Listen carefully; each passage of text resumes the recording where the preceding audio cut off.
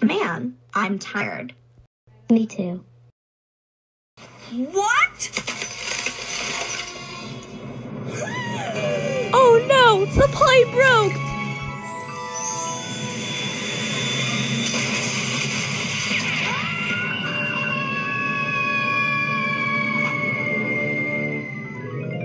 If it could break the sound barrier, falling out of a window shouldn't be able to break it.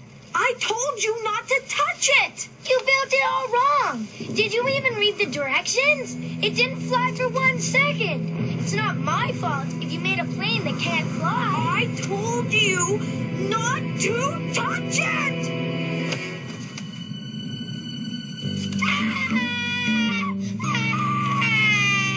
Arthur Timothy Read, come here! Uh-oh. Middle name. Are they gonna have to amputate my arm? No, honey, it's amputate, not amputate. They're gonna amputate. No, I'm in charge and I'm putting ice on it. Ah! What's wrong? That's cold. I never been it before. Apologize to your sister. No way! She should apologize to me. I worked all week on this. I told her a million times not to touch it. You're bad. Arthur, this means no TV for a week. What? That is so unfair. You don't even care what she did to me. We'll deal with what she did, but what you did is wrong too. One.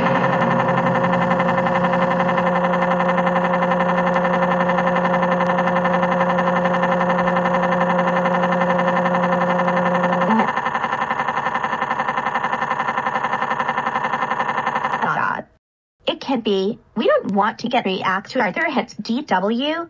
Don't worry, Wizard Princess Matilda and Snow Flutter Girl. It's just only a dream. You will not react to Arthur Hits DW. We'll always protect you. And come on, Wizard Princess Matilda and Snow Flutter Girl. Your breakfast is waiting for you. Okay, Clara and Derek. Okay, Clara and Dirk.